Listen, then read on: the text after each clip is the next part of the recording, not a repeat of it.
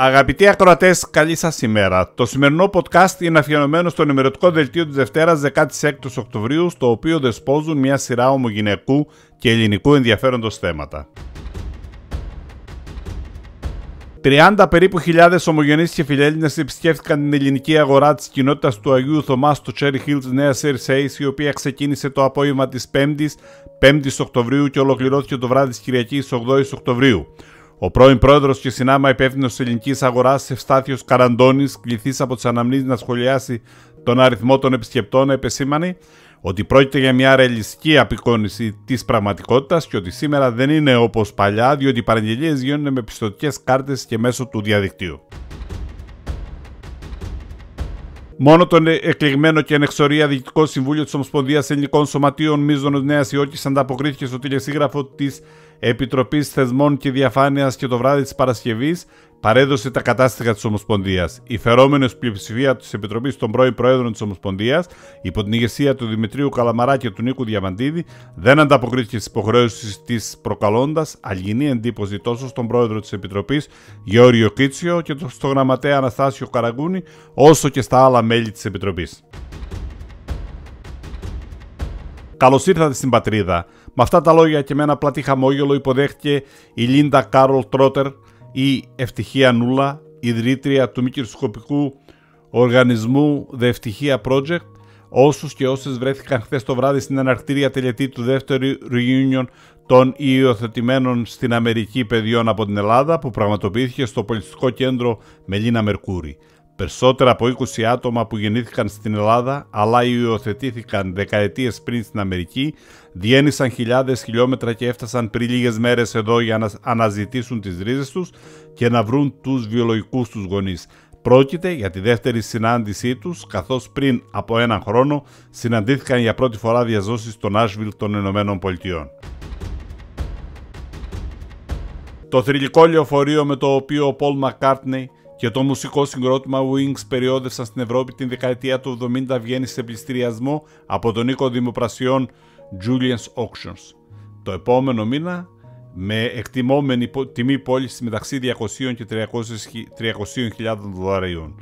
Το διάσημο λεωφορείο γνωστό ως WNO481 είναι ένα διόροφο πλήρως ανακατασκευασμένο Bristol KSW του 1953, το οποίο ξεχωρίζει για τα ψυχεδελικά έργα τέχνης διαχειρός Jeff Clairhorn στο εξωτερικό του. Είναι εμπνευσμένα από το εξώφυλλο του άλμπουμ Yellow Submarine των Beatles και αντικατοπτρίζουν το πολύχρωμο στυλ των hippies και τη στάση της ελεύθερης αγάπης της εποχής. Ο τζόγος δεν αφορά μόνο κάποια ομάδα με συγκεκριμένα πολιτισμικά χαρακτηριστικά. Τόσο οι Έλληνες όσο και οι Κινέζοι, οι Ιρλανδοί, οι Ιταλοί και οι Αυστραλοί παίζουν στοίχημα και δεν υπάρχει εγγενώς τίποτε το κακό με τα τυχερά παιχνίδια εκτός και αν γίνουν εθισμός. Ο τζόγος έχει εξελιχθεί σε βιομηχανία και αυτό δεν έχει καμία σχέση με τα παραδοσιακά πολιτιστικά και κοινωνικά ήθη της Αυστραλίας.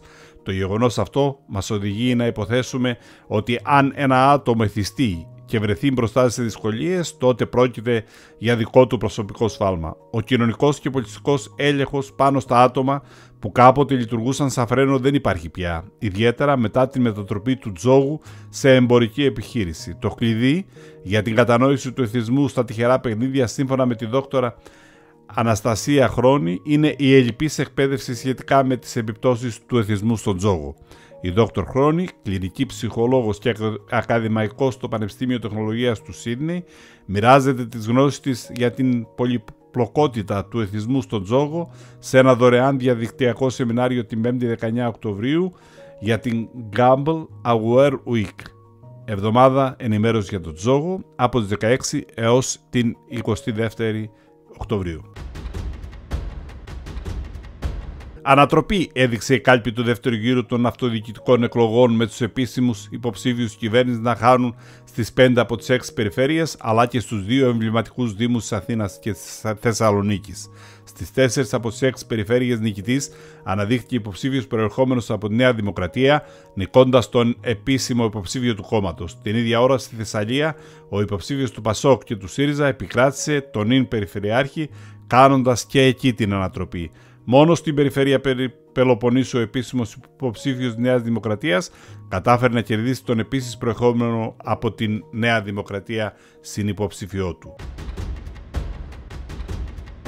Αυτά και πολλά άλλα θέματα περιλαμβάνονται στο σημερινό ενημερωτικό δελτίο. Εάν φίλοι ακροατές δεν λαμβάνετε το δελτίο, κάντε κλικ στο www.anamnesis.net και εγγραφείτε για να το λαμβάνετε καθημερινά στο ηλεκτρονικό σας ταχυδρομείο στις 9 προμεσημβρίας ώρα Νέας Υόρκης είτε 4 μεταμεσημβρίας ώρα Ελλάδας. Το σημερινό podcast προσέφεραν η Alma Bank, Atlantic Bank, Gyro World, Hellenic Classic Charter School, Condos Foods, Megas Gyros, New Yorker Bagels, Sigma Fund Laboratories και United Brothers Fruit Market.